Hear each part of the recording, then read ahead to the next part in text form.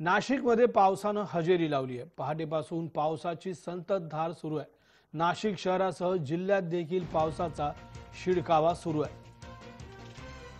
अनेक भागातील विद्युत पुरवठा रात्रीपासून खंडित झालाय.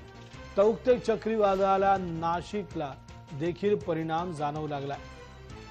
तौक्ते चक्रीवादळामुळं नाशिकमध्ये पावसाला सुरुवात झाली आहे.